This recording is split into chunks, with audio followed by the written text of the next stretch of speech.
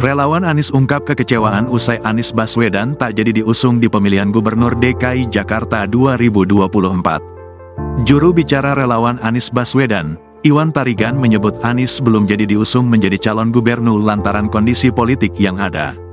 Tentunya relawan kecewa tetapi itulah realistis politik yang harus diterima suka apa tidak suka, ujarnya kepada Tribun News, Kamis, tanggal 29 Agustus tahun 2024. Dirinya menegaskan, Relawan Anies kecewa dengan sikap-sikap partai politik yang dianggapnya menutup peluang Anies untuk membangun Jakarta menjadi lebih baik lagi. Namun walaupun kecewa, Iwan mengakui relawan tetap menerima dan setia dengan Anies. Dikatakannya, relawan tetap setia bersama Anies sambil melihat perkembangan-perkembangan ke depan. Iwan menyebut, Anies merupakan sosok yang memiliki elektabilitas tinggi. Apa pun pilihan Anies akan tetap didukung oleh relawan dan pendukungnya, baik keputusan di dalam atau di luar partai, lanjut Iwan.